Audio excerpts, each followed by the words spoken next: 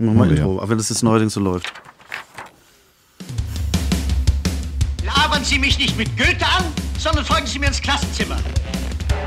Geschichte ungenügend. Eine Produktion von sofakusch.de. Ein heiterer Geschichtspodcast.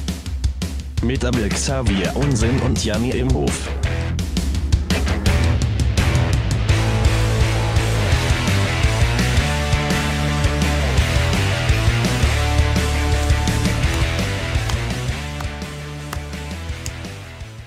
Wird mitgeklatscht, wie bei der Hitparade. Hallo und herzlich willkommen zu Geschichte ungenügend, dem heiteren wöchentlichen Podcast zu Geschichte und Popkultur mit meinem wieder einigermaßen genesenen Dauergast Abel Xavier Unsinn. Hallo!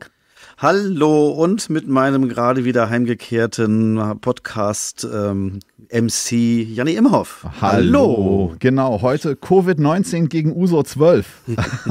ja, es gibt auch andere Usos, wenn ihr ein Spirituosenhersteller seid und so weiter. Ihr kennt den Drill. Ja, ich bin wieder da aus dem Urlaub und ähm, ich möchte mich nochmal in aller Form für die Rumpelfolge von letzter Woche, die wir da aus dem Tja. Archiv gekramt haben, rausziehen. Aber irgendwie ging nichts, aber wir wollten trotzdem was produzieren ja, vielleicht machen wir auch einfach mal eine Sommerpause. Habe ich mir gar nicht, auch noch gar nicht Gedanken gemacht. Das, das große Sommerferienloch kommt ja auf uns zu. Ja. Ähm, ja, apropos Salat, ich erzähle Abel und euch jede Woche eine Episode aus der Weltgeschichte, die ich gerade irgendwie bemerkenswert finde, über die ich gestolpert bin.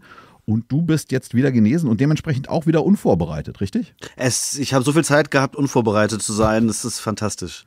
Okay, wobei heute, heute zähle ich tatsächlich sogar ein bisschen auf deine Expertise, oh weil ich weiß, das ist ein Thema, wo du einigermaßen drin bist, zumindest teilweise. Ja.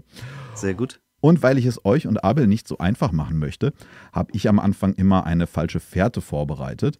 Und hinten raus besprechen wir immer nochmal die populärkulturelle Verarbeitung des Themas der Woche. Und die ganzen Videos und Lieder, die wir hier erwähnen, die im popkulturellen Zusammenhang stehen mit unserem Thema, die haben wir in unseren Playlists auf Spotify und YouTube untergebracht. Und da ist eins besonders wichtig, da machen wir heute ein gesondertes Video. Das müssen wir uns auch währenddessen angucken. Aha. Und ja, was wir noch haben in unseren Show Notes ist ein Spendenlink zu buymeacoffee.com, wenn ihr da gerade, aber ich glaube auch, wir brauchen andere Leute Kohle gerade dringender, müsst ihr selber wissen, weiß ich nicht. Ähm, Willst du noch kurz unsere Social Medias ähm, vorlesen? Oh ja, oh ja, das ist eine meiner Kernkompetenzen. Ähm, wenn ihr uns eine Mail schreiben wollt, ganz klassisch, dann schreibt ihr die an Geschichte ungenuegend, in einem durch, Geschichte ungenuegend, at gmail.com. Und wenn ihr etwas moderner unterwegs seid und per Twitter uns eine Nachricht schicken möchtet, dann findet ihr uns unter dem Hashtag Handle ungenugend ohne Pünktchen, ungenügend und ohne Geschichte. Ganz genau. Und Geschichte ungenügend ist ein stolzer Teil von Geschichtspodcasts.de, einem tollen, lockeren Netzwerk von super cool, mitunter viel besser als hier recherchierten Podcasts aus allen Ebenen der Geschichte, von bitter ernst bis so ein bisschen lustig wie bei uns. Und da könnt ihr echt reinhören und coole Sachen finden.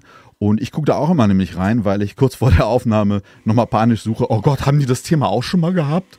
Um dann mit ah, ah, das ist die Kaffeemaschine. Im Hintergrund unser Special Guest, die ja. Kaffeemaschine schaltet sich wieder aus. oh Mann. Äh, alles beim Alten wieder, ne? Ja, ja, das ist doch, wir sind doch auch hier so ein bisschen so ein, deswegen ist es mit der Sommerpause auch schwierig. Wir sind doch hier so ein steter äh, Fels in der Brandung des Lebens, an denen sich unsere Hörerinnen und Hörer doch jeden Dienstag anlehnen können. Und ähm, so brauchen wir Regelmäßigkeiten und ja, ich weiß das, ich glaube, das ist wirklich für die, ich kann mir das halt immer so schlecht vorstellen. Ich habe ja früher lange in, in, Bands gespielt, so, und da konnte ich halt immer in den der hinteren Reihen von dem autonomen Jugendzentrum halt immer die fassungslosen Gesichter sehen. Das war dann sozusagen Instant Feedback, was wir bekommen haben. Und heute trickelt das so rein und die meisten. Ja, aber ihr habt doch nicht jeden Dienstag gespielt. Ja, Gott sei Dank. naja, aber was ich, was ich meine ist, ähm, die, die Leute tauchen halt so als so Zahlen von so Internetplattformen auf in den Stats, die wir uns durchlesen. Und das ist schon ein bisschen sehr ja. entfremdet. Aber egal. Steigen wir ein mit einem Schiff, nämlich der Kobayashi Maru. Ist ein fiktionales, ziviles Raumschiff aus dem Science-Fiction-Universum Star Trek. Ja. Bekannt durch das Raumschiff Enterprise und die ganzen Kapitäne. Ja. Und ich weiß ja, du hast dir die Pandemie doch ein bisschen mit Star Trek versüßt, oder?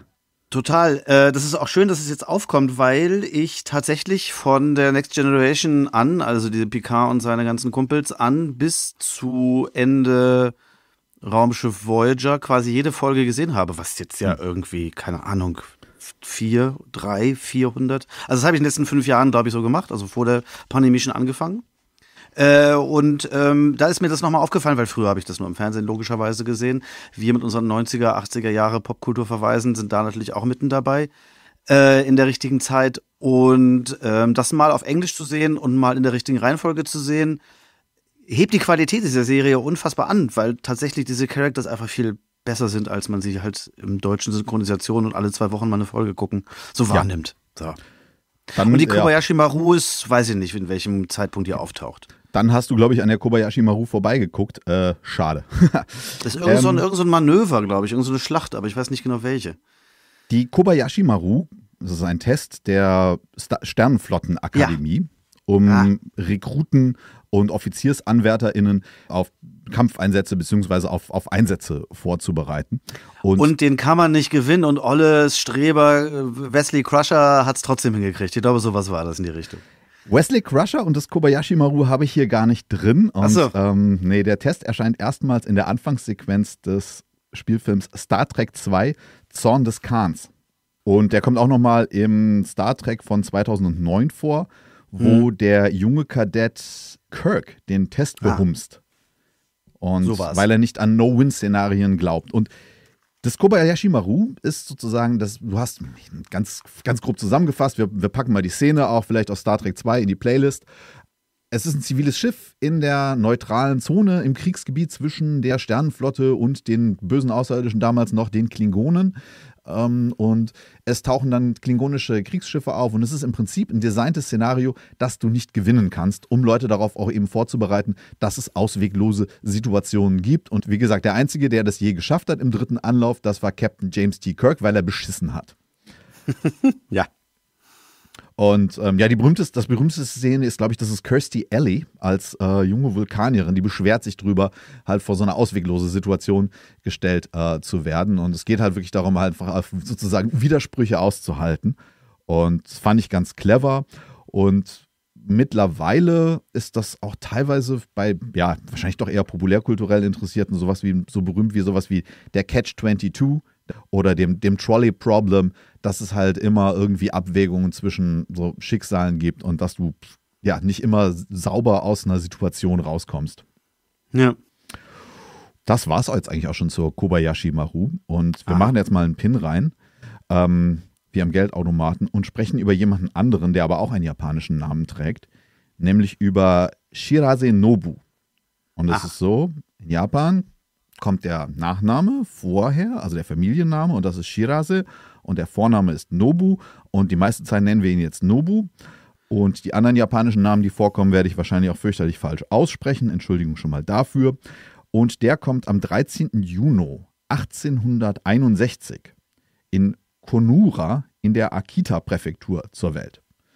Das ist, ähm, das kennt man nicht, das ist im Norden Japans. Ja, okay. Und da kann es nachts und im Winter immer schon mal empfindlich kalt werden. Und Nobu ist Sohn eines buddhistischen Mönches. Und du als ausgewiesener Experte für japanische Geschichte, du hast ja diese Total. tolle Dreisatz-Zusammenfassung mal gemacht, dass zu dieser Zeit das Tokugawa-Shogunat in Japan herrschte und Japan immer noch weitestgehend vom Rest der Welt abgeschottet war. Ja, die hatten keinen Bock auf Ausländer. Genau. Das änderte sich dann in der sogenannten Meiji Restoration, sagt, sagten die englischen Historiker immer in meinen Quellen. Und das war nach einem Bürgerkrieg 1868, 69. Da wurde eben dieses Shogunat ersetzt durch die Meiji-Dynastie und es begann ein langsamer Prozess der Öffnung und in Anführungszeichen Modernisierung Mhm. Okay. und viel, ja, eben auch viel Austausch mit dann eben den westlichen Nationen. Und das führt, und da verkürze ich hier extrem, zu krassen ökonomischen und sozialen und kulturellen Umwälzungen in Japan. Und Kann, kannst du, was ist das? Ich stelle mir das so vor zu der Zeit, dass das halt, ja, wahrscheinlich wie überall auch langsam die Industrialisierung Einzug hä- hält, aber eben in Japan wahrscheinlich viel später, weil die eben sehr konservativ, so ist mein, mein Vorurteil jetzt, konservativ in den Gesellschaftsordnungen noch sind. Äh, und deswegen wird das hier wahrscheinlich auch ein sehr bäuerlich geprägtes Land sein mit irgendeiner so einer aristokratischen Führungskaste, die sich da irgendwie von den Bauern ernährt, so wie das sonst überall auf der Welt wahrscheinlich auch gewesen ist. Ja. Und die sich aber dann langsam international so ein bisschen abgehängt sehen, weil überall die Industrialisierung losgeht, die wollen benutzt werden, sind aber selber ja schon eben nicht so ein, so ein Land, was eben sehr autark unterwegs war, aber sich dementsprechend halt auch allen anderen überlegen gefühlt hat, weil sie halt sich gar nicht in Konkurrenz mit anderen gesehen haben. Ich weiß nicht genau, wie das da mit China und so hin und her ging in, dem, in der Frühneuzeit, aber erstmal haben die, glaube ich, alle für sich da erstmal viel gemacht. ja, ich fürchte, da müssen wir auch mal an, äh, an andere äh, Werke verweisen, weil da kann ich jetzt auch nicht so tief rein. Und ich bin da auch nicht so drin. Ich habe einen riesen Japan-Film irgendwie seit ein paar Monaten, Jahren und fuchs mich da aber erst so langsam rein. Und was es halt dann gibt, ist, du sagtest es ja schon mal sowas mit Industrialisierung, dann gibt es auch mehr so die Herausbildung von einer urbanen Schicht. Also sowas wie Lesen und Schreiben verbreitet sich mehr und es gibt auch mehr Unterhaltungsliteratur. Okay. Und diese Unterhaltungsliteratur landet auch beim jungen Nobu. Und er wird, was man, glaube ich, ein bisschen salopp sagt, als ein Bücherwurm. Und was er am liebsten liest und was ihm am meisten begeistert, sind Geschichten über Entdecker. Und das war halt für Japan sehr neu und ungewohnt, weil, wie gesagt, man war eher, abgeschottet und hat eben nicht irgendwie Erkundungs- und Entdeckungsbestrebungen gehabt, wie jetzt, sagen wir mal, andere Nationen. Nehmen wir mal europäische Nationen. Da hatten wir ja schon früh sowas wie die, das, das, die Entdeckung von Gegenden, die schon längst vorher entdeckt waren durch die Leute, die da wohnten. Ja. Aber es ist ja auch ein Unterschied, und das wäre vielleicht in dem Moment auch ganz interessant, es ist ja auch ein Unterschied zwischen Entdecken und äh, Einflussgebiete äh, erschließen und die äh, ähm, Ressourcen für sich selber äh, in Anschlag bringen zu wollen. Denn es werden ja auch schon vorher Leute, die nicht Japaner sind, in Japan gewesen sein und auch Kontakt gehabt haben werden am Hof oder wo auch immer die dann da rumsitzen. Mhm. Also die werden ja schon was mitgekriegt haben von der Welt, aber das ist halt anders, als wenn du gleich deine ganze Armee losschickst, um irgendwie das Gold wegzuschleppen. Genau. Und was in dieser Jugend, in dieser, in dieser Kultur, das ist halt, und es kommt halt so Literatur rein und was sich halt auch ausbildet, ist so eine neue, eine neue Kultur aus sowas wie Sport, Maskulinität, Heldentum, so eine, ja, polemisch vielleicht eine Mackerkultur. So, Okay. das ist halt auch sowas wie so ein Heldentum. Das, das wandelt sich dann halt so ein bisschen. Das sind dann eben nicht mehr so die, die mittelalterlichen Vorbilder. Und wie gesagt, bei Nobu ist es, sind es halt ganz klar nicht Japaner, die er toll findet. Und es sind, es sind eben diese Entdecker. Und ein dieser Entdecker, den er, ähm, den er da besonders, oder eine der Geschichten, die er besonders mag, ist die Suche nach der sogenannten Nordwestpassage. Also die Schiffsdurchfahrt zwischen Alaska und Russland. Mhm, Das ist ja auch mehr oder weniger ums Eck. Ja, und das begeistert ihn so sehr, dass er selber gerne Entdecker werden möchte. Also, Okay. wir kamen so ein bisschen, ich werde Feuerwehrmann. Also, also Kinder, die irgendwie einen Berufswunsch haben, ja. Und, Äh, was, für ein, was für einen familiären Background hat er? Das habe ich nicht mitgeschnitten. ah, sein Vater ist buddhistischer Priester. Ah, ja, mhm. Die Mutter, furchtbar, kommt nicht in der Literatur war, vor. Gibt's, war, ja. Als, als wäre, Aber das als heißt, der hat gegeben. auch schon, das heißt, der hat einen gewissen äh, finanzielle Unabhängigkeit. Ich weiß nicht, wie da die äh, Kleriker irgendwie in Japan unterstützt worden sind. Aber er, was, was so rauskommt, er lebt jetzt nicht irgendwie in Elend und Armut, er hat Bücher. Ja. Ja, das ist schon, das Ja, ist schon was. eben. Ne? Und er wird auch später ein Buch äh, schreiben über einmal das Thema, was wir gleich die nächste halbe Stunde haben, aber auch über seine Kindheit. Und da sind dann auch so Anekdoten drin, wie er mal in einem Kanonenrohr eingeschlafen sei und wie er mal beim, ja, wie er beim Klettern von einem 10 Meter hohen Tempeldach gefallen ist und sowas. Und er stellt sich auch gerne, und so sieht er sich, glaube ich, selber, so ein bisschen ein Draufgänger wie in seinen Lieblingsgeschichten. Nun, der Vater hätte gerne gehabt, das wissen wir, dass der Sohn auch ein Priester wird und in die, ähm, sozusagen in die Fußstapfen äh, tritt. Aber ähm, Nobu will, er will Entdecker werden. Er will was entdecken. Und ähm, der Weg dahin für ihn und was auch dann vielleicht auch so ein Mittelweg ist, karrieretechnisch, ist sein Eintritt nach dem Schulabgang 1879 in die imperiale Armee. Mhm. Und nach zwei Jahren wird der junge Nobu Leutnant im Transportkorps, heißt es dann in der englischen Literatur. Und bin alles andere als ein Militarist. Ich nehme an, er war halt irgendwie in so einer Logistikeinheit. Und ja, weiß ich nicht genau, was er da gemacht hat äh, im Großen und Ganzen. Aber was er definitiv da, spätestens da macht, ist sich so einen persönlichen Lebenskodex äh, verordnen. Ich glaube, da lernen wir auch ein bisschen was über seine Persönlichkeit. Und der Lebenskodex lautet wie folgt: Keinen Tabak rauchen. Mhm. Vernünftig. Es ist ungesund. Ja. Kinder, fangt da nicht an. Äh, so, ähm, kein Alkohol. Ja, ist auch. Kann man auch machen. Sehr vernünftig. Ähm, kein Tee. Ach, Ja, das klingt sehr straight edge. das klingt sehr straight edge. Und wir sind jetzt auch, das ist schön, dass du sagst, weil in der nächsten Zeile hier bei mir, jetzt sind wir an der Stelle, wo wahrscheinlich auch Ian McKay, Musiker in der Band, unter anderem Minor Threat und einer der bekanntesten Ja. Vertreter der Straight Edge Bewegung, der hätte dann gesagt, geht's auch eine Nummer kleiner. Weil das nächste, nämlich, was er sich versagt, das ist nämlich ähm, kein heißes Wasser. Okay. Ja, Weil, wie, weil, weil, man geht ja auch kalt. ja, Also ich muss, Genau. also der Gedanke, dieser Straight Edge Gedanke, ich muss stärker als meine Bedürfnisse sein, Ja. weil damit ich ein cooler Typ bin. Ja. Das ist doch der gleiche Gedanke. Es, ja, ich kenne mich jetzt mit, das, wenn ich jetzt Askese sage, dann macht das ein ganz anderes Fass auf, aber sagen wir mal so, Ent, Enthaltsamkeit ist ähm, Ja. auf jeden Fall, ähm, kann man das hier neutral formulieren. So, und ähm, schlussendlich nicht, sich nicht am Feuer aufwärmen. Ja, das passt ja alles dazu. Es ist nicht überliefert, ob er je gelüftet hat. Ähm,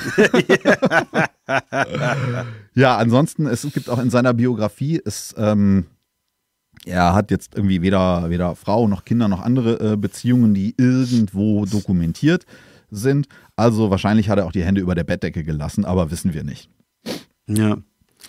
Nee, so mit so einem will man ja auch nichts zu tun haben. Das Das ist ich der Spaß der Beziehung. Ich, vielleicht war er ein lustiger Typ. So, auf jeden Fall konnte er wohl na, schreiben und Geschichten erzählen, weil, ja, ne, Ja. hören wir gleich noch. Und ja, Militär, was macht man da noch? Leute umbringen. Richtig, er nimmt 1905 am, am russisch-japanischen Krieg teil Mhm. und er ist da schon 44. Also auch, also das ist schon eine lange Karriere auch im Militär und er bleibt auch Leutnant. Genau, über den, den, bei dem Krieg gehe ich jetzt nicht ins Detail, das kann man anderswo nachhören und ähm, sonst gibt es auch wieder Fanpost. Ähm, was er aber vorher noch macht und er nimmt 1893 an einer Expedition teil, deren Zweck es ist, eine Kolonie auf der nördlichsten der Chichima-Inseln zu etablieren. Die kennen wir vielleicht eher unter der Bezeichnung, die Russland dafür hat, die Kurilen. Das ist Ah ja, so eine die- Inselkette zwischen Kamtschatka und Japan. Die, Da, ähm, da, da, da hasseln die doch immer noch drum rum, wer da jetzt seine Fahne auf den Felsen stecken darf. Ja, ever since. Und auch nach dem russisch-japanischen Krieg gibt es dann auch so einen Friedensvertrag, obwohl- Japan das Ding haushoch gewonnen hat, äh, büßen die dann die Halbinsel Sachalin ein und es ist irgendwie ganz haarsträubend. Wie gesagt, das muss man woanders nachhören, jetzt nicht bei uns. Und diese Expedition diente tatsächlich dem Zweck, auf der nördlichsten dieser Chichima-Inseln eine Kolonie zu etablieren. Wie ist groß ist denn das? nicht so groß. Das ist kalt, das ist vulkanisch, das ist karg, da ist nichts los. Das ist härtestes Leben und diese, diese, in Anführungszeichen, Besiedelung oder zumindest Inanspruchnahme und Kolonisierung dieser Insel, er ist da nicht federführend dabei, sondern irgendwie zweiter oder dritter oder vierter in der Kommandostruktur. Aber das Ganze ist unheimlich mies vorbereitet und führt in Summe dann dazu, dass ähm, zehn Leute, die an dieser Expedition beteiligt sind, auch sterben. Äh, hauptsächlich, hau hauptsächlich Skorbut, also Versorgungslage schlecht. Es ist unheimlich schlecht geplant und dieses, das, aber er hatte da halt Bock drauf. Oh, Entdeckertum. Und es geht ja irgendwie, er kommt ja aus einer Gegend, wo es nie so warm ist. Und ähm, das Ja. wäre im Prinzip schon seins. Und er, er sitzt ja auch nicht gerne am Feuer. Er kann das gut ab. Nur die anderen Ja. eben nicht. Und dementsprechend wird es ähm, ein ziemliches Desaster. Nur das bremst seine Abenteuerlust und seinen Entdeckerdrang in keinster Weise. Er denkt sich, ja, hm, das muss man jetzt nur mal besser planen. Er nimmt es als eine, er nimmt es mit als eine Lernerfahrung. Und dann, Noch nördlicher und noch karger. genau. Und was ist noch nördlicher und noch karger? Die Nordwestpassage, Und was ist noch nördlicher und noch karger? der, äh, die Arktis. Und da, noch nördlich, am allernördlichsten, Du meinst so nördlich, dass alle, egal in welche Richtung ich gehe, ich nach Süden gehe? Ich, ich komme dir gleich darüber. ja, das meine Ja. ich. Ah, okay. Nordpol. Der Nordpol. Da, da möchte er hin. Er möchte den Nordpol Ja. entdecken. Nun müssen wir auch mal ein bisschen, also es gibt Expeditionen in Richtung oberes und unteres Ende der Weltkugel. Gibt es schon vorher. Hauptsächlich haupt, viel Exploration, sowohl in Richtung geografischen als auch magnetischen äh, Pol. Die Ja. weichen ja voneinander Die Sache ab. mit dem Südpol ist ja total berühmt, dieses Rennen zwischen Ronald Amundsen und Herrn Scott. Ich vergesse seinen Vornamen immer, oder waren sie beim Nordpol? Nee, das war der Südpol. Ja, Zum Nordpol? das war, äh, ich glaube, Scott hatte seine Augen irgendwann auch mal an den, ähm, in Richtung äh, Nordpol, aber das Da war, wo der Scott halt irgendwie zwei Kilometer vor seinem Heimatcamp dann irgendwann wegfriert. war Robert Falcon Scott, genau. Und Ja. da, hier, ich, wa- ich wähle mit meinen Zetteln, ähm, genau. Ja. Ja, der Nordpol, das wird dann irgendwann, wir sind jetzt schon, wir machen jetzt mal einen Sprung, wir sind jetzt schon im 20. Jahrhundert wieder. Und es ist dann 1908 oder sowas, gibt es ein paar Leute dann mit dem Claim, auch am geografischen Nordpol gewesen zu sein. Und den besten Claim hatte Robert Perry. Und Nobu denkt sich, oh ja, dann war es das jetzt mit der Nordpolentdeckung für mich. Was kann ich denn noch machen? Dann denkt er den Südpol. Ja. Und ähm, ja, und das ist wirklich, es ist ja jetzt nun auch die Zeit, so auch der, die Hochzeit des Imperialismus. Und wir hatten gerade am Anfang ja schon mal kurz drüber gesprochen, so die heldenhafte Art und Weise, die letzten weißen Flecken, in Anführungszeichen. Das sind natürlich nur die weißen Flecken der weißen Leute. Ja, klar. Wobei nun du tatsächlich am Südpol und am Nordpol eine Menge weiße Flecken hattest, literally. Ja. Gut. Und Ja, zumal jetzt auch die, es ist ja eher so ein, ich glaube, da, da, da geht's dann das politische Interesse des Imperialismus mit dem theoretischen, wie sagt man dazu, Überbau, also was sich dann Individuen dazu ausdenken, eine Welt zu entdecken, äh, ein bisschen auseinander. Und da geht's dann ja wirklich erstmal äh, um, so wie Leute heutzutage irgendwie den Mount Everest als erster besteigen wollen oder sowas ein paar Jahre später, irgendwas machen, was noch keiner vorher gemacht hat für den persönlichen Ruhm beziehungsweise die Ehre dessen Landes da irgendwie ein bisschen hochzuhalten. Ich glaube nicht, dass da besonders viele Interessen mit verbunden waren, als erster dort oder dort gewesen zu sein. Ganz fantastisch, dass du sagst. Ich glaube, du hattest einmal halt wirklich so dieses, ich will hier der Held sein. Ich will meine, ich will da jetzt sein als ich. Ja. So, ich bin der Held, ich mache das jetzt hier. Meine Entdeckung. So, sich selber, sich selber vielleicht auch sich selber historisieren und für sich selber einfach diesen, ich glaube, das ist schon so ein, ich glaube, fühlt sich schon ziemlich gut, wenn du als Erster irgendwas gemacht hast oder so. Und dann, aber ja, haben wir auch die, ich mache jetzt die Geste, wie eine Fahne in den Fußboden gesteckt wird. Das ist ja sozusagen die Flagge für das Land. Und dann gibt es aber eben auch noch so die, die wissenschaftliche Expedition. Gehen wir gleich nochmal, so wie diese unterschiedlichen Zwecke teilweise eins sind, teilweise sich widersprechen, teilweise sich ergänzen. Fand ich auch sehr spannend, weil ich mir im Rahmen auch dieser, du sprachst von dem Rennen zum Südpol, ähm, mir auch nie Gedanken gemacht, ja, was machen die denn da? Also wieso, wieso Ja. machen die das gleichzeitig? Und du erwähntest ja schon ähm, Robert Falcon Scott und Roald Amundsen und die hatten nämlich auch unterschiedliche Ziele bei der Geschichte und unterschiedliche Herangehensweisen. Ähm, machen wir gleich. Und nun sagt sich Shirasenobu aber auch, ja, Südpol, da fahre ich hin. Ich hisse die Flagge Japans am Südpol.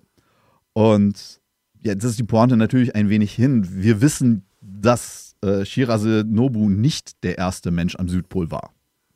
Ja. Ich denke, das war aber auch schon vorher bekannt. Das war schon vorher bekannt. Ja, Spoiler Alert. Es war natürlich Roald Amundsen aus Norwegen. Ja, wir machen die beiden anderen gar nicht so sehr im Detail.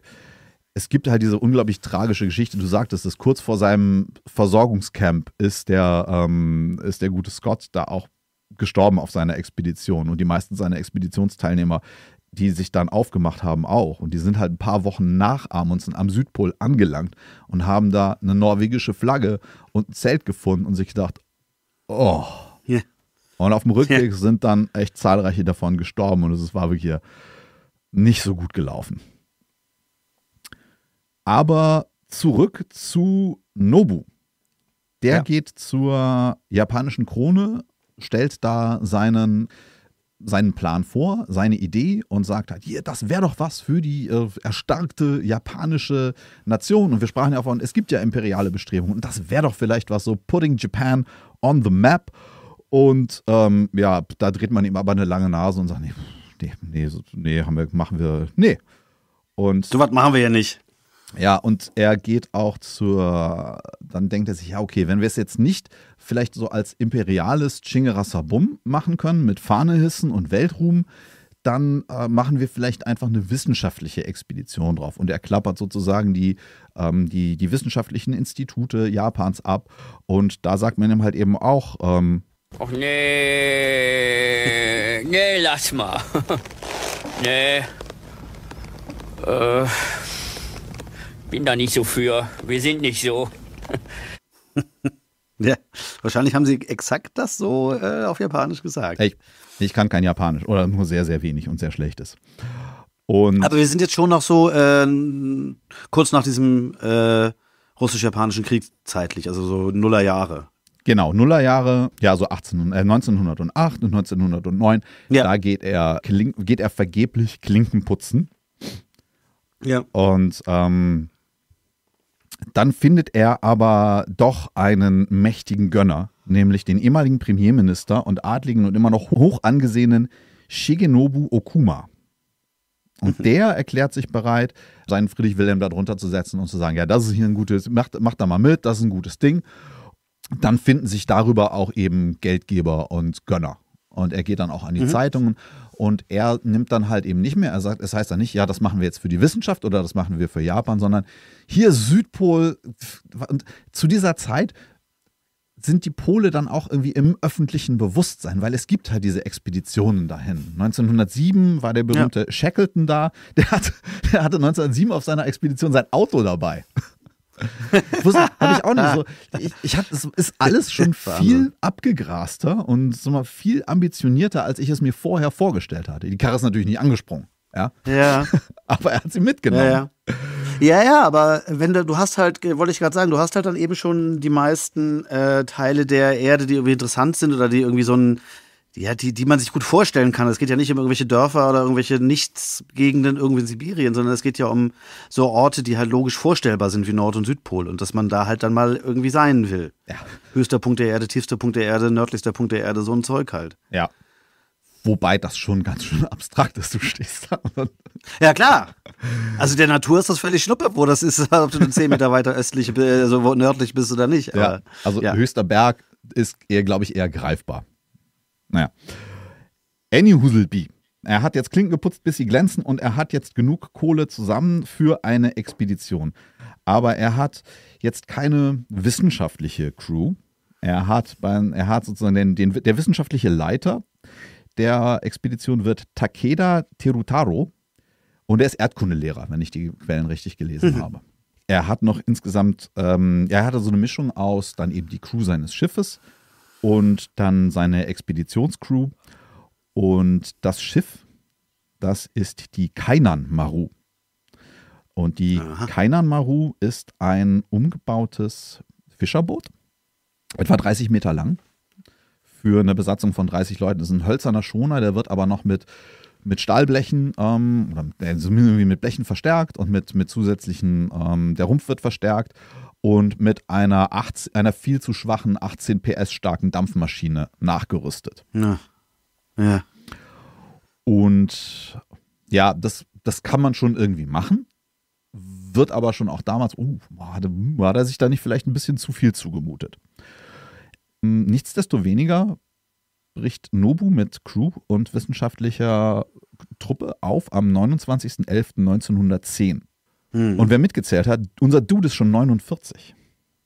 Ja, ja. Aber ja. wenn du dir die Bilder anguckst, er sieht unheimlich jung aus. Und dieses ganzes, sein ganzes Leben lang wohl auch irgendwie so ein, so ein jungenhaftes, strahlendes Gesicht gehabt, das dann so aus, aus so dicken äh, Seehundfellen und Pelzen so ra- rausguckt. Also ganz toll. Bilder verlinke ich auch. Wir haben ja ein paar, paar tolle Sachen.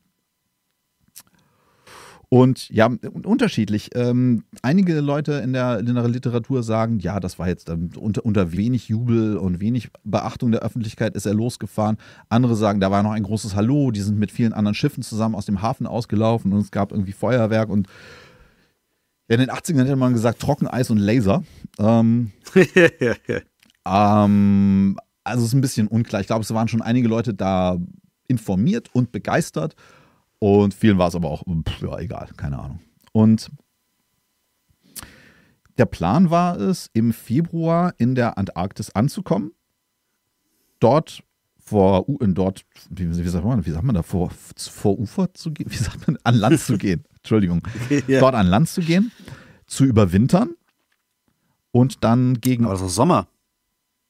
Dann zu überwintern also von, von Februar bis Oktober oder was? genau. Da ist dann der, Um das ist dann das ist im ist Frühling der quasi loslaufen genau, zu und im können. Südhalbkugel Frühling, dann. Ende 1911, sich zum Pol aufzumachen. Ähm, 700 Ah, okay. Kilometer, von da, wo sie anlanden wollten, sollten, waren so, glaube ich, so 700 Kilometer hin und zurück. Der Plan war so, das in 150 Tagen rund zu schaffen und Ende 1911 wieder da zu sein. Und das ist alles schon so halbwegs kartografiert gewesen? Wir waren schon mal da und es gab auch Expeditionen zu dieser Zeit. Und da waren auch ein paar Ja. Deutsche dabei und ich hatte Shackleton 1907 schon erwähnt und da war auch schon einiges kartografiert, aber es war halt eben, und es war auch schon jemand am magnetischen Südpol, aber es war noch niemand am geografischen Südpol, weil das schweineweit ist und es ist ziemlich kalt und es ist ganz schön anstrengend Ja. und es ist bergig und das ist allenthalben halt zu der Zeit ein Riesenabenteuer. Klar. Und Heutzutage wohl auch noch. I suppose so. Und es läuft nicht gut. Vor allen Dingen ist die Kainan Maru zu langsam und zu schwer. Mhm. Achso, genau. Also, sie haben auch noch ähm, sind ungefähr 30 Leute und äh, man hat noch 30 sibirische Schlittenhunde dabei. Und ähm, Okay, und wo? Ja, die armen Schlittenhunde auf der Überfahrt. Ja. Aber wo fahren die dann lang? Wo, wo, an welcher Ecke von der Antarktis landen die dann an? Also bei Afrika, bei Australien, bei Südamerika? Exzellente Frage, weil das kommt nämlich als nächstes. Man landet an, ja, ist jetzt hier schwer zu zeigen, ne? Aber heute wieder Atlas-Folge. Könnt ihr mal gucken, wenn die, die, die Gegenden, die ich hier erwähne. Da gibt es König Josef-Land das ist gibt's, nah und das ist relativ nah dran. Und das ist nämlich eine Route über Neuseeland. Beziehungsweise Mhm, okay. Und dann äh, kommt man eben leicht lediert im Februar 1911 in Wellington in Neuseeland an. Und es sind auch schon zahlreiche der Hunde tatsächlich gestorben auf der Überfahrt. Also, Mhm. ja, nochmal Triggerwarnung. Äh, Für Hunde geht die ganze Geschichte allenthalben überhaupt nicht gut aus. Tut mir wahnsinnig leid für alle HundefreundInnen. Ja. Auch sonst Triggerwarnung, Tierquälerei from here on out. Ja, nach drei Tagen in Wellington, also man ist da erstmal, wie, was hattet ihr vor? Mit dem Ding? Okay, okay, mhm, so, so. Vor allem die Frage, und warum? Sie waren in Neuseeland, um da nochmal äh, äh, auf, aufzustocken. Da haben die Leute so, boah, habt ihr euch das gut überlegt? Und dann sind sie trotzdem gefahren und dann sind sie, ähm, dann ging es nicht zurück und dann sind sie nicht zurück nach Neuseeland. Sorry, das müssen wir irgendwie, müssen wir irgendwie reparieren. Dann sind sie nach Australien zurück, um da zu überwintern. Okay. Sie landen in Ja. Sydney. Und in Sydney werden die Japaner wie Helden empfangen. Natürlich nicht. Ähm, das, da haben sie dann mit Rassismus zu tun. Als erstes werden sie erstmal als Wilde, als Gorillas bezeichnet. Dann verdächtigt man sie der Spionage und so weiter. Aber sie bekommen dann auch prominente Unterstützung in Form von Tenet Edgeworth David, ein australischer Geologe. Der war im Vorjahr mit ähm, Shackleton und der Nimrod, ähm, hatte der den magnetischen Südpol erreicht. Ja. Und der hatte wohl ein Anwesen in einem Vorort von Sydney und hat die Dudes da campen lassen und hat Nobu auch bei der Modernisierung seiner Expedition geholfen. Der Kapitän des Schiffs hat sich in der Zeit nach Japan aufgemacht, um nochmal mehr Geld einzusammeln und äh, Achso, vielleicht auch ich noch dachte, mal er hatte keinen Bock mehr. dann ohne Kapitän weiter. Nee, die waren nach wie vor Mit dem Verrückten, da fahre ich nicht nochmal da unten Die runter. waren nach wie vor wahnsinnig ambitioniert. Und Nobu gibt da auch nicht auf. Und ähm, ja, im Prinzip hatte er auch Glück im Unglück. Ohne diese Modernisierung und wenn die da angelandet werden, die wären gestorben wie die Fliegen. Also, oder wie was, was einfriert. Weiß nicht, was stirbt, was, weiß nicht, was da einfriert. Keine Ahnung, aber die hatten halt dünne Schlitten und dann durch die Unterstützung von David und noch anderen und noch mehr Geld aus Japan, also mittlerweile auch äh, hoch verschuldet, der gute Shirase Nobu. Und sie sind dann im Wintercamp und werden neu ausgerüstet und als Gegenleistung schenkt Nobu ähm, Edgeworth David ein Samurai-Schwert, das er vorher bekommen hat. Das war ein 350 Jahre altes Schwert und das ist heute in Australien in einem Museum und JapanerInnen gucken sich das immer noch gerne an, Ah, wenn ja. sie da sind. Ja. Du sprachst ja, wir hatten ja die, die beiden guten äh, Scott und Amundsen, hatten wir ja schon erwähnt, die Ja. dann irgendwie einen, wo es dann irgendwie zu einem Rennen kam und die waren dem Ganzen, Das, ja, ja, das ist doch auch sowas um den Dreh rum. 12, 11, 12, 13. das ist genau zu der Zeit. Ah, Im November 1911 sind Scott und Amundsen ihm weit voraus, weil die haben es nämlich geschafft, im Frühling diesen Jahres da anzulanden und da zu überwintern. Die können jetzt gleich sozusagen, Ah, okay. die können gleich loslaufen, wohingegen Nobu erst nochmal in die Antarktis fahren muss. das ist quasi also der, der, der, der dritte Teilnehmer eines Wettrennens, von dem man nie gehört hat. Der hat auch, ja, und es wurde ihm auch wohl angekreidet, er habe nämlich von vornherein gesagt, ja, wir wollen zum Pol fahren. Oder er, oder er, er hätte es nicht gesagt und jedenfalls wurden die da auch diskreditiert. Aber die haben nie, also der hat nie explizit irgendwie mit den anderen kommuniziert und gesagt, wir lehnen uns jetzt aus dem Fenster und wir fahren dahin. Das war so sein Ding. Er hat so parallel seinen Film Ja. gefahren und er wollte aber vor denen da sein. Und das hat er jetzt gemerkt, das- okay, das klappt nicht. Aber Ja. es gibt ja noch genug, wir sprachen ja ihn von den literally weißen Flecken. Und dann, dann Hm. machen wir eben was anderes. Und Ach so. am 19.11. läuft die Kainan Maru aus und erreicht ohne große Zwischenfälle das antarktische Festland. Oder Eisdings, Mhm. ja. Und am 19., also man segelt dann halt so dann da erstmal weiter rum. Und am 19.01.1912 erreicht die Kainan Maru die Walfish Bay. Hm. Und da liegt die Fram, das Schiff von Roald Amundsen, Hm. vor Anker. Und sie machen sich dann wei- weiter auf ihre Expedition, die Japaner, aber sie haben tatsächlich den rü- zurückkehrenden Amundsen um eine knappe Woche verpasst, der vom Südpol zurückkam. So nah dran war das halt durchaus. Ne? Ja. Und an der Stelle hatte ich so ein bisschen das Gefühl, boah, vielleicht hat er sich gerade hat sich nur da gedacht, boah, vielleicht greifen wir doch noch mal an. Wenn wir jetzt richtig beeilen.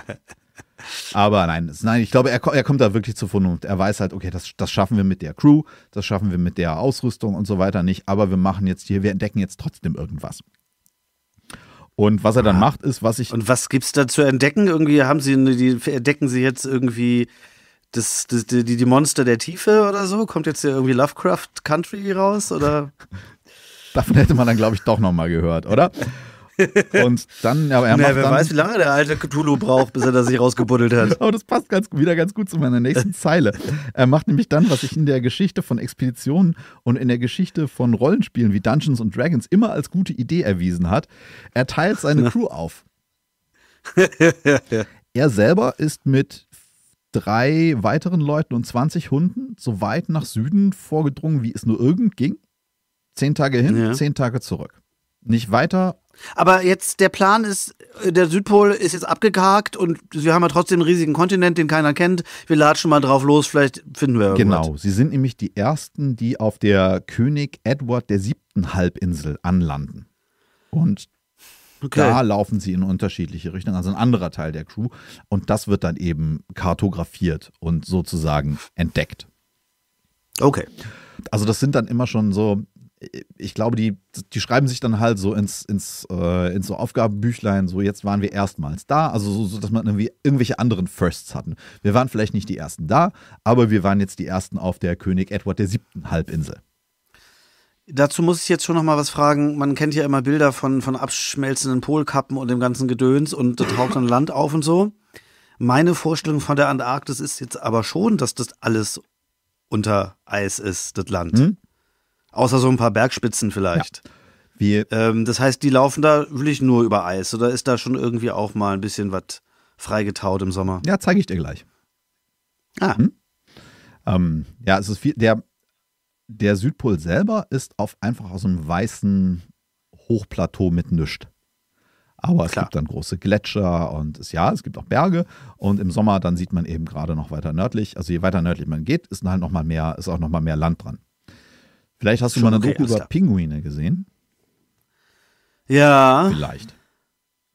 ja. Oder ein ist Animationsfilm. Sehr viel Eis auch dabei. Ja, ist auch viel Eis dabei, das stimmt schon. Und Also nicht Grönland oder so. Nee. Naja, wie gesagt, sie entdecken Die latschen da also über diese, diese Halbinsel. Ja, sie okay. entdecken halt dieses oder jenes und schreiben das halt eben auf und kartografieren das. Sie bauen halt auf existierendem Kartenmaterial auf, erweitern das und es ist sozusagen ihr Beitrag zu dieser Entdeckung. Sie sind nicht die Ersten am Südpol, das ist Amundsen. Aber was sie halt auch machen, ist überleben. Am 3. Februar sind alle Japaner weitestgehend irgendwie unverletzt und unverfroren zurück auf der Kainan Maru. Zwar nicht mit dem Südpol, aber mit ein paar anderen, aber mit ein paar anderen Entdeckungen und noch einigen geologischen Proben. Und Und motiviert von diesem wundervollen Erfolg denken sie sich, oh, jetzt machen wir das schon mal richtig. nee, das ist mittlerweile ist Geld, das Geld ist endgültig alle. Also, Und äh, die Japaner haben es tatsächlich geschafft. Alle, alle Japaner schaffen es Leben zurück aufs Schiff, aber tatsächlich kein einziger Hund überlebt das. Also, ja. Und ähm, am 12. Juni 1912 läuft die Kainan Maru in Tokio ein und die Bewertung der, der Rückreise wird auch nochmal unterschiedlich dargestellt, ähnlich wie bei der Abreise. Die einen sagen, dass es ein großes Hallo gegeben hat und man hat sich aber äh, dann, aber allen halben sind sich da alle in der Literatur einig, dass es nie die große Heldenverehrung wurde für Shirasenobu. Ja. Und ich glaube, die beste Zusammenfassung und auch der beste Color in meinem Skript hier ist, äh, dem, dem Gegner des heißen Wassers wird ein lauwarmer Empfang beschert. Ja. Ja, und er hat aber auch schon so an seiner Selbsthistorisierung auch gearbeitet. Er hat sich Notizen gemacht, Tagebuch geführt, das dann auch später veröffentlicht, als so eine Art, ja, das ist halt eine der, der wichtigsten Quellen eben dafür, aber es ist halt die Darstellung aus seiner Feder. Dementsprechend, ja. Das ist nämlich auch, aber was sie auch haben, ist ungefähr 40 Minuten Filmaufnahme. Und Okay. das ist jetzt das Video, das findet ihr jetzt, die uns zuhört, findet ihr das direkt oben in den Show Notes und das guckt ihr euch jetzt an und ich zeige es jetzt hier in der Zeit. Ähm, Abel, Moment, guckst dir jetzt Penguins an. Ich gucke mir jetzt zwei Penguins Minuten. an, alles klar. Mhm. Ah.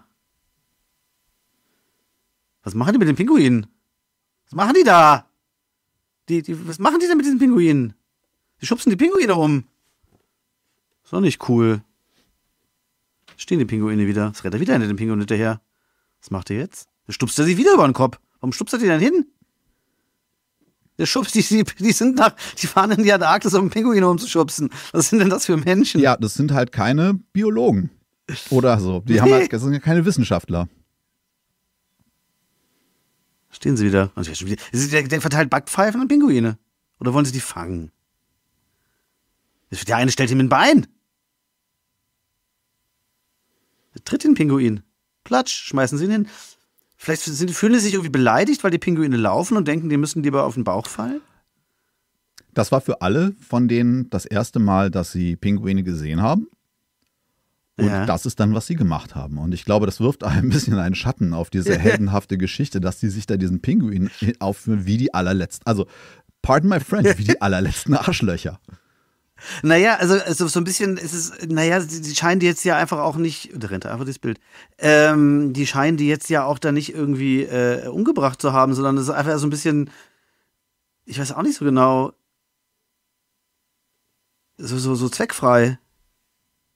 Aber es ist schon witzig, durch dieses schlechte Bildmaterial äh, und die etwas zu schnelle Ablauf von diesem ganzen Zeug, ähm, der dritte, der dritte Pinguin. Oder ich weiß auch nicht genau, was, was ist denn das? Was hatten die da, was haben die denn? Haben die da Angst vor? Und dann stehen sie wieder rum. Dann stehen sich Pinguine und Menschen wieder gegenüber. Das hat schon was echt witzig Absurdes, wie ein absurder Film. Das hat er getackelt. Jetzt hat er den Pinguin gefangen, okay. Vielleicht haben sie die ganze Zeit nur versucht, einen Pinguin zu fangen. Aber die rennen dann auch so hektisch hin und her. Okay, vielleicht wollen sie checken, ob sie, ob sie Pinguine essen können. Das kann ja auch sein. Habe mich tatsächlich nichts zu. Ich wollte den Film irgendwie ein bisschen mal, also weil es Das halt einfach gab und ich habe mir ein paar andere Schnipp, Schnipsel angeguckt. Das ist interessant, aber ich wusste nicht, dass es Filmaufnahmen von einer Antarktis-Expedition aus dieser Zeit gibt und dass diese Filmaufnahmen darin bestehen, dass eine japanische Crew aus Wissenschaftlern und ähm, Seeleuten, dass die da äh, Backpfeifen an Pinguine verteilen. Um zu, das wirklich, so wahrscheinlich, um zu gucken, was passiert. Ja, oder vielleicht endlich ist mal was los. Ja. Und Bisschen Kreislauf Was passiert, wenn ich das mache? Ich glaube, wir müssen so ein bisschen, das ist ein bisschen Trial and Ja, Error. ich glaube, wir müssen dem Ja. nicht weiter nachspüren. Ähm, das, Ja. ähm, Ja, Ah ja. Ähm, zurück, zu, äh, zurück zu Nobu. Seine Memoiren liegen dann leider wie Blei in den Regalen. Mhm. Und durch den Umweg über Australien hatte er noch viel mehr Schulden als ursprünglich veranschlagt. Und er muss jetzt die Schulden abbezahlen. Er ist wieder da, der Ruhm ist verflogen und ähm, in den 20ern, Dude ist mittlerweile 60, versucht er es nochmal Ja. auf den Kurilen mit einer Pelzfarm. Das Gott, geht ja. auch nicht gut. Und ähm, ja, er tourt mit seiner Geschichte, er tingelt so über die Lande durch die Veran Veranstaltungssäle und hält so Dia-Vorträge, wo er wahrscheinlich auch zeigt, wie sie Pinguine verdreschen.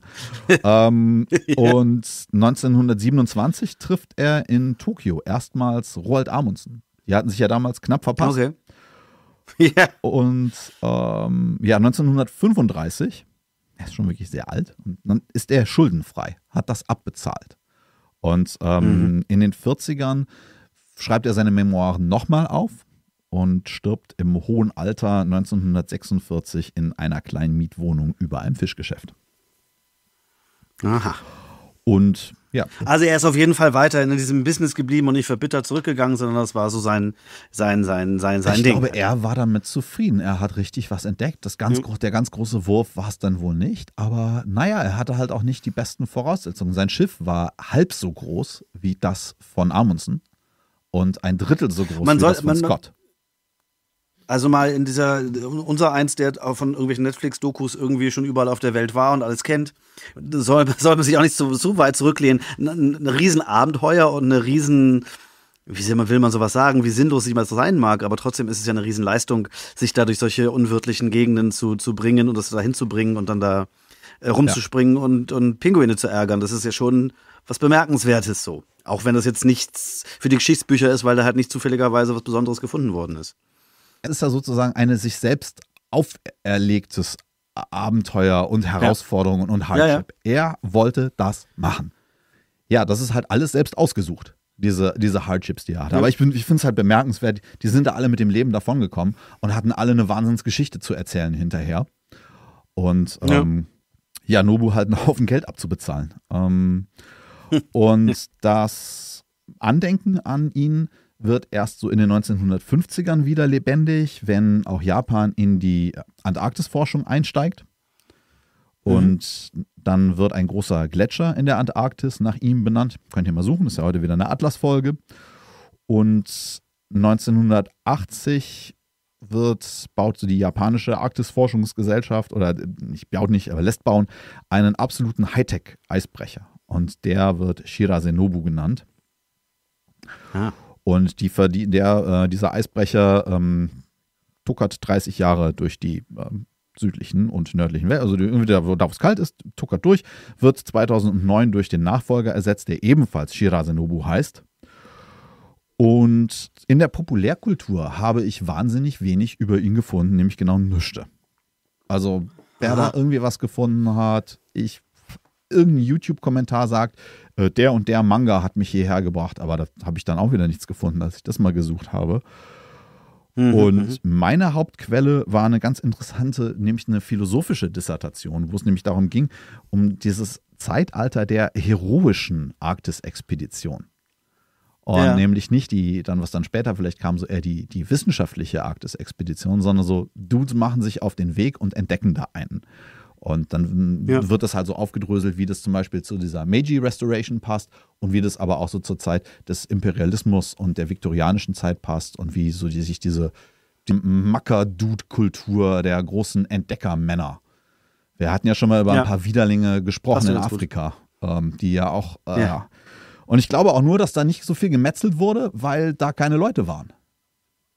Ja, wobei, das ist ja immer ein bisschen die Frage. Bei diesen afrikanischen Leuten hatte ich schon ein bisschen den Eindruck, das ging auch schon darum, eine gewisse Macht oder eine gewisse Reichtum sich irgendwo anzueignen durch halt Rücksichtslosigkeit der Leute gegenüber, die da so rumspringen. Und das ist jetzt ja wirklich eine Sache, ich beweise es mir selbst. Hm? Das ist ja schon noch ein bisschen anderer, ein anderer Antrieb dahinter, behaupte ich jetzt Ja. mal, also auf den ersten Blick. Aber das ist, was wir eingangs hatten, so dieses Spannungsfeld aus, äh, ich, ich will was Krasses erleben, machen, tun. Oder ich bin Ja. halt für meine, bin halt für meine Nation unterwegs, oder ich bin halt raubender Mordbube. Und Ja. die, Ja, und dann ist es wahrscheinlich so, jeder einzelne von diesen Du- Dudes hatte war so seinen eigenen Schwerpunkt. Und beim Shirazunobu war es halt wirklich dieses, ich will Feuerwehrmann werden. Äh, ich will Entdecker werden. Ja. Ja, ja, genau. Ja, ist richtig. Und sag mal, was mir noch aufgefallen ist, bei jetzt, um den, den Bogen zum Star Trek zurückzumachen. Oder kommt das, kommt das von dir gleich? Ja, nee, das ist einfach nur, weil Maru heißt Schiff. Weil der hieß doch auch, aber. Ach so, Maru heißt Schiff, das wäre Ja, meine Frage Entschuldigung, das war gewesen. ein bisschen lame. Ich Okay. hatte ursprünglich gedacht, ich mache eine Einleitung wieder mit was Japan und was mit Wrestling oder so. Aber da habe ich gedacht, nee, komm, heute mal nicht. Ich habe da noch ein paar Sachen im Köcher. Ja. Und Aber Kobayashi Maru, warum das so heißt, wer weiß, hat das, hast du die Star Trek Lore so weit durchschritten? ja, der Nachbar, vom, Dreh, der? Nachbar vom Drehbuchautor hieß so. Ach so, alles klar. ja, sorry, stand zumindest im Wikipedia-Artikel. Ja. Ah, okay. Ähm, ja, aber es muss Gut. halt nicht immer die No-Win-Situation sein, sondern also er hätte sich, Ja. boah, der sie hätten sich ja auch gut und gerne in so eine No-Win-Situation reinmanövrieren können und da auch alle erfrieren. Ja, also auch zum, zum Südpol zu laufen, obwohl das schon abgegrast worden wäre. Da hat er letztendlich auch eine sehr kluge Entscheidung getroffen und gesagt, na bleiben wir halt hier, Ja. bevor wir uns hier alle ins Verderben stürzen. Da reicht's doch, wenn die Hunde drauf. Pinguine sind mit einem blauen Auge davongekommen, in diesem Falle. Ja. Und da endet jetzt auch die Geschichte von Shirazen und dem Dritten im Rennen um den Südpol, den keine Sau kennt. Ja Es gibt noch Dank. einen Haufen anderer Expeditionen, die auch keiner kennt. Wie ein Jahr später war nochmal ein Deutscher da und das, das, da kann man wirklich nochmal tiefer graben. Und dann gab es ja Mhm, auch, und das war, glaube ich, auch für mich der Auslöser, kurz darauf ist ja Ernest Shackleton nochmal hingefahren und dessen Schiff ist ja dann spektakulär gesunken. Und vor ein paar Wochen, Ah, okay. das kann man jetzt da, oder haben viele Leute, ich glaube auch auf Geschichtspodcasts, da hat der ein oder andere Mitpodcasterin von uns was zugemacht, weil nämlich Anfang des Jahres wurde die Endurance in der Antarktis gefunden. Ach, ich dachte, ich habe das immer nach dem Norden gelegt. Ich dachte, das wäre eine Geschichte mit einer Nordwestpassage gewesen und da ist irgendwas wieder freigetaut. Das war eine Antarktis, ja? Vielleicht habe ich das ober, nur oberflächlich Ja, gelesen. check mal die, Und, oder du hast es. ja, check mal die, check mal Shackleton und die Endurance ähm, bei Ja. unseren Freundinnen und Freunden auf geschichtspodcasts.de. Hört, äh, ja genau, guckt euch die Pinguine an. Das ist wirklich, also, Auf jeden Fall. weiß ich auch nicht. Ey. So ein bisschen musste ich lachen. Outrageous. Es aber auch das Lachen im Halse stecken geblieben. Ja, es ist halt lustig und gleichzeitig auch fährt man um die halbe Welt, nur um Pinguine zu Ja. schubsen. Aber gut. ja. Und immerhin keine Robbenklopperei. Ähm, Ja, ja, genau. on that bombshell. Danke, danke dir für die Zeit, dass du dich hier ähm, am Nachmittag Ja, vielen Dank hingesetzt wieder. hast. Und Vielen Dank. Ähm, danke euch fürs Zuhören. Vielen Dank, dass du dich in den Abenden hingesetzt hast, das zu Ja, recherchieren. das war, das war immer, das wurde immer, das ging immer noch tiefer. Das war Wahnsinn. Und ähm, ich habe da auch ein paar andere Sachen schon rausgeholt. Nächste Woche haben wir dann wieder eine kürzere Fußnotenfolge. Und bis dahin, ja, bleibt uns gewogen. Und ähm, dir nochmal weiterhin gute Besserung, dass du vollständig restauriert bist, wie die Meiji. Danke. Danke, Und danke. euch allen anderen macht's gut und tschüss. Tschüss.